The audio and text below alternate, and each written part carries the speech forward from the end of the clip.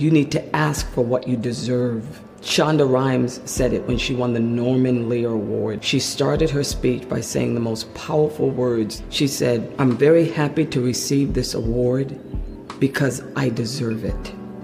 And I believe that's where we need to start as women is before we get to any negotiating any job, any salary, before we even start our lives, we need to start with the mindset that we deserve and we are worth it.